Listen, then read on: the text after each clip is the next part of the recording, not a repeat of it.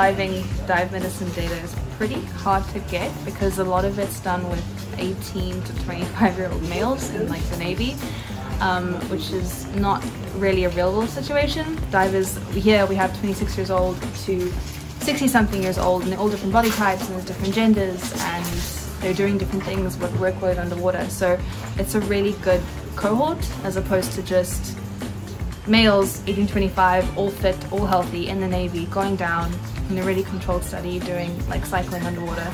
It's not really yeah indicative of real world um, environmental conditions. So we are just walking down to the dive center to meet the divers who have just come back from their dive.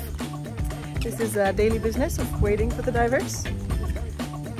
Uh, when they come back they'll drop off all their gear and then we will take them to the medical room. And Timing is very important, so the first thing we want to know is how many minutes post-dive they are because we want to catch them in a 30 to 45 minute window post-surfacing.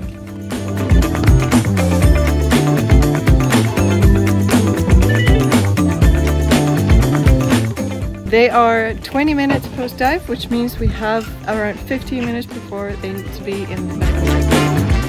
Okay, so the divers have finished with the gear. They're at 35 minutes, so they're now walking down here to the medical room where they're going to meet Sophia uh, to do some of the post-dive uh, studies. Uh, because we, um, for the divers in the study, to keep them anonymous, what we're going to do is we've got a model here, Jared. He's going to show you what we've been doing post-dive uh, with the different information that we're collecting. So we'll follow you into the room. Hello, hello.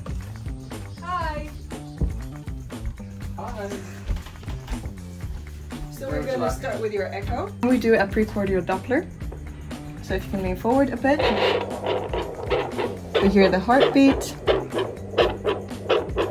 And we start recording for 30 seconds. And once that's done, ask him to do two squats, please. So again, we're provocating the bubbles. And then we record for another 30 seconds. So we're just gonna try to find the heart. So here we are looking at a four chamber projection of the heart. We are especially interested in the right side, which is why I'm focusing more on getting the right side nice and clear. And I would ask you to flex your legs for me, please. We are doing a provocation test so that uh, if there are bubbles, they tend to come out when they do a little bit of uh, exercise. Now that I'm quite happy with the side of the right side of the heart, I store it as a video so that we can look at it later as well. Hi, so I'm here with Anya. She is doing our recordings this afternoon.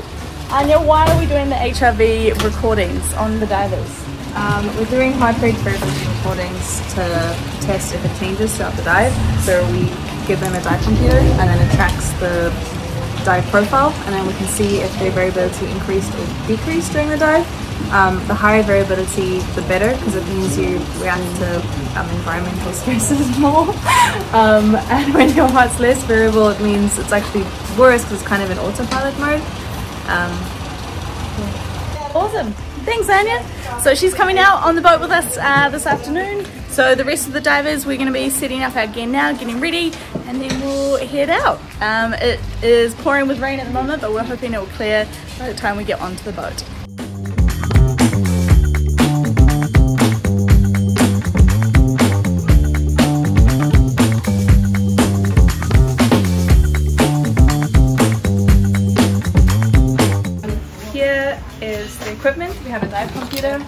Have a chest strap, and then we have a dive sensor. Um, I know you have heart rate variability on most um, watches, but it's not really clinically significant findings. Um, this is attached here and the quality is a lot better and it can go down to 70 meters. So we use these and then we, that's as much as you're getting from me. It was great. Yeah, no, keep going.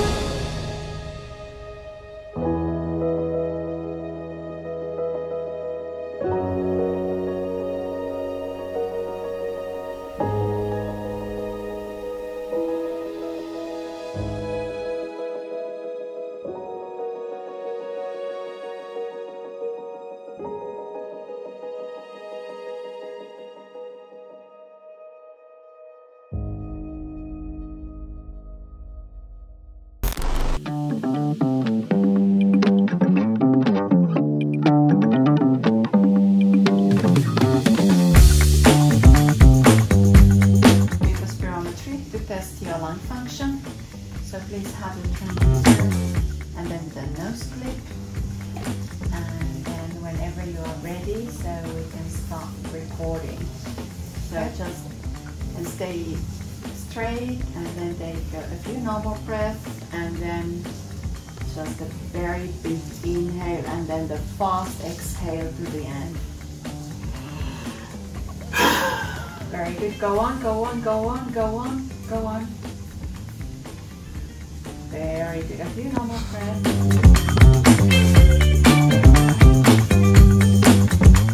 Thank you. Was so interesting. Right. Thank you, Anne. Um, we're now going to go and do my um, eyesight and see how well my eyesight goes. So we're going to go find the team. Thank you. So Matt's just done his. uh, I'm up next. Um, so they're going to test to see if it's changed from the first time I did it before I started diving. Nina is running it.